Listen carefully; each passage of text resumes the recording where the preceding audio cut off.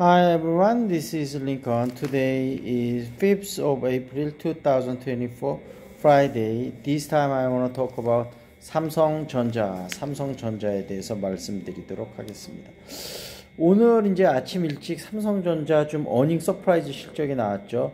매출 71조에 물론 잠정 실적입니다. 영업이익 6조 6천억 이렇게 나왔는데 지금 영업이익이 5조에서 많게는 5조 5천억까지 봤는데 한 20% 정도 더 나왔으니까 earning surprise 실적이라고 할 만하고 어 이게 지금 매출 70조 넘은 것도 다섯 분기만이고 어 그 다음에 이제 반도체 사업부 DS 사업부도 5분기 만에 흑자 전환한 것으로 생각이 됩니다. 그래서 근데 다만 최근에 좀 급등을 해서 오늘은 주가가 살짝 조정을 받았고요. 84,500원 0.94% 떨어졌고요.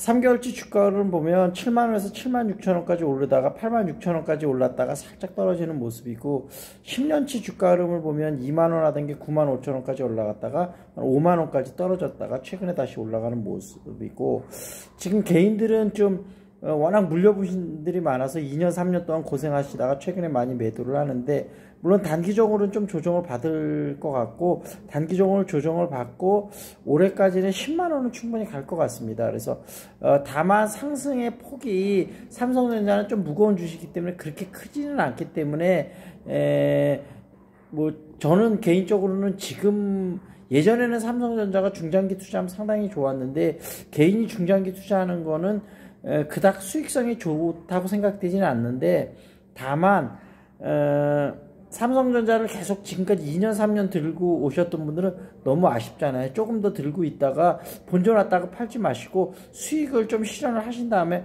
팔으셨으면 좋겠고 어, 그 다음에 사실 AI하고 연관된 돌풍 이제부터 시작 아니겠습니까?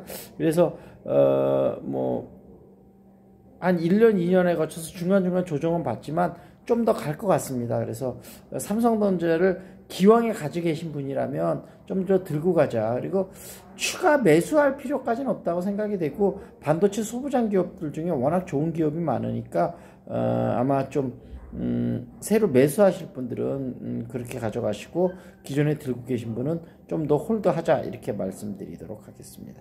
자 여기서 마무리 짓겠습니다. 오늘 이제 사전 투표 시작일인데 오늘 어, 총, 역대 총선 중에 최고로 많은 사람이 예, 사전 투표를 했다고 하는데 내일은 토요일이니까 아마 더 많은 투표를 할 것으로 생각이 됩니다. 여러분들 투표 꼭 하시고 여러분의 주권을 꼭 행사하시기 바라겠습니다. 여기서 마무리 짓겠습니다. That's it. This is Lincoln. See you next time. 궁금한 종목 있으면 유튜브에 댓글 달아주시기 바라겠습니다.